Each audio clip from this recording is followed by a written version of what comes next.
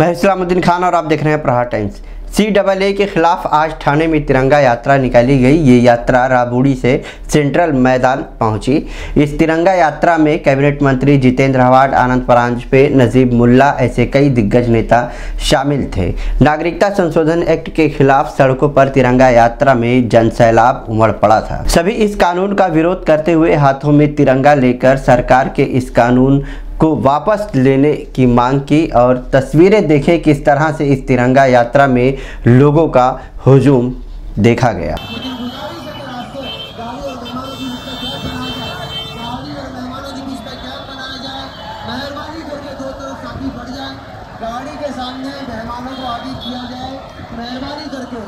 जाए गाड़ी के तुम्ही जर व्यवस्थित पत्र वाचलं ते सगळे एकोणीसशे अठरा आपलं दोन हजार अठरा आणि दोन हजार एकोणीसचा संदर्भ देत आहेत आमचं सरकार आम्ही मंत्रिमंडळात येऊन इनमीन एकोणतीस अठ्ठावीस दिवस झालेले आहेत. मागच्या सरकारला दंगल तर घडवली पण त्याची ते चौकशी किंवा आयोगाच्या मार्फत चौकशी दोन्ही होऊन देण्याची शक्यता कमीच आहे आणि त्याच्यामुळे एका स्वतंत्र जजमार्फत स्वतंत्र न्यायाधीशामार्फत भीमा कोरेगावची चौकशी चालू असताना ती सरकारला आणि सरकारच्या संबंधित असलेल्या काही इस्मांना अडचणीची आहे त्यामुळे त्यांना पैसे न देणं त्यांनी स्पष्टपणाने म्हटलं आहे की आम्ही जेव्हा लोकांना चौकशीला बोलवतो किंवा त्यांना समन्स पाठवतो ते लोक आमच्याशी उद्धट बोलतात.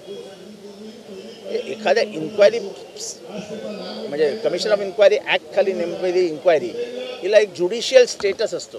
त्यांनी कितीही प्रयत्न केले भीमा कोरेगावचं त्यांनी घडवलेलं नाट्य हे पडद्याच्या मागे नेण्याचा प्रयत्न त्यांनी कितीही केला तरी ते त्यांच्या हातात नाही सरकार सरकार लागलीच पाऊल उचलेल आणि हे असं बंद होऊ देणार नाही. हे बजेट म्हणजे काहीतरी त्यांनी दोन तास चाळीस मिनटं वगैरे भाषण केलं. आणि दोनशे चाळीस नोकऱ्याही मिळणार नाहीत या बजेटनंतर त्यामुळे आणि हे सगळं हास्यास्पद आहे. म्हणजे बजेट बजेटच्या माध्यमातून भारतामध्ये आर्थिक सुधारणांच्या बाबतीत काही पावलं उचलली. काही गरिबांना फायदा मिळेल अशी काही पावलं उचलली. टॅक्स आणि कर म्हणजे कर कमी करून काय दर्शवता तुम्ही? किती जणांना त्याचा फायदा होणार आहे? त्यामुळे हे बजेट श्रीमंतांचं बजेट आहे. आधीच द्वेषाचं राजकारण वाढीला लागलं आहे अर्थ अर्थ अर्थ तुटवडा खुलेआम दिसतोय. नोकऱ्या कमी होत आहेत. नोकरी धंदे बंद पडत आहेत. जुन्या उद्योगांना प्राधान्य देऊन त्यांना आर्थिक ताकद देऊन त्यांना उभं करण्याच्या करण्याच्या ऐवजी नवीन उद्योग उभारा अरे इथे जुने मरायला टेकले तुम्ही नवीन काय जन्माला घालणार?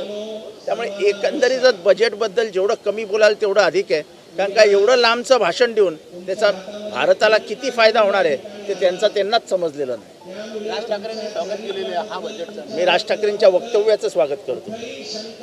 ताज़ा तरीन खबरों के लिए हमारे YouTube चैनल को सब्सक्राइब करें और बेल आइकॉन दबाना ना भूलें। अगर आप Facebook पर देखते हैं तो हमारे पेज को लाइक करें।